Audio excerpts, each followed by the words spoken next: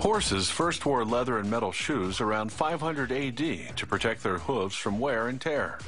Today, depending on the animal's vocation, horseshoes are usually made of steel, aluminum, or plastic. A farrier is someone who makes the horseshoes and carefully applies them.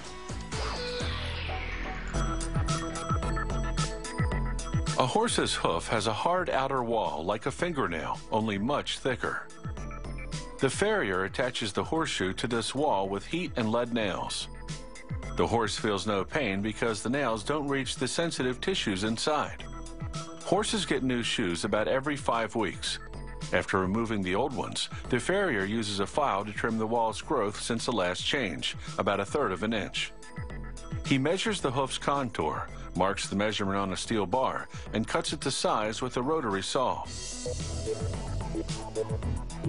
Steel is the material of choice because it's affordable and durable. Next, he heats the bar until the middle's white hot. He brushes off any dirt, then dips the bar in water to cool it. Then he hammers the ends to redistribute the metal toward the middle.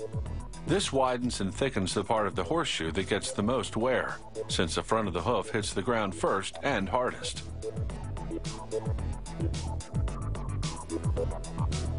After reheating the bar, he hammers it again, this time with no cool down. For larger shoes, two farriers take turns hammering so that it goes faster, and they can shape the steel while it's still hot and pliable. Using a drafting compass, the farrier gauges where two grooves for nails will go. He reheats the bar, then holds a sharp-ended tool against it, while another farrier drives it in with a hammer. The nails won't protrude when they're embedded in the grooves. These areas will also fill with dirt to give the horse traction. The farriers round the sharp edges of the horseshoe so the animal won't cut itself when it's lying down. They make the nail holes by first driving this tool into the grooves. Then they use another tool to perforate the steel, hammering it into the shoe over an opening in the anvil that lets the tool pierce through. The farrier then repeats these steps on the other side. It takes two farriers about 15 minutes to make a pair of horseshoes. The first farrier heats one shoe while the second hammers the other. Like the hooves, the front and back shoes are differently shaped. The front pair are rounder, the back ones more oval. Because the horse's hind hooves have evolved to dig into the ground for traction.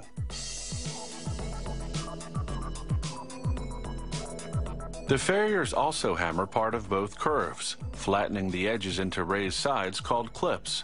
These help the shoe fit onto the hoof. For larger workhorses like Clydesdales, the farriers bend the ends downward to give the feet more traction. It's not uncommon for a 2,000-pound horse to have to pull twice its weight. Now, time for the fitting. After heating the shoe, but not as much this time, the farrier uses it to melt the outer part of the wall. This makes an imprint on the horseshoe that later helps him place it properly on the hoof. Horses first wear shoes at about three years old, the age when they start working or competing. The farrier fine-tunes the fitting with a metal filing tool, curving the edges further to make them even safer for the horse. Next, he shines the steel with a metal brush. The shine will quickly fade once the horse takes its first steps. Depending on the foot size, the finished shoe can measure anywhere from 2.5 to 9 inches across. Now to attach the shoe. The farrier first files the hoof to remove any dust or sharp edges. He slips on the shoe, then gently hammers as many as three nails into each side. The nails are about two inches long. They're made of lead, a metal that's easy to bend and that's what he'll do after hammering them through the wall. He clips off the ends and bends the rest in towards the wall. Then he uses other tools to gouge small crevices in which to bury the ends. This makes it easy to straighten out the nails and yank off the shoe when it's time. He also hammers the hoof against a template to stabilize the shoe. Next, he files the hoof so that it meets the angle of the shoe. And finally, the horse is ready to stroll. So whether you've got a pony or a stallion, make sure the shoe fits. When it comes to horse footwear, function, not fashion, dictates.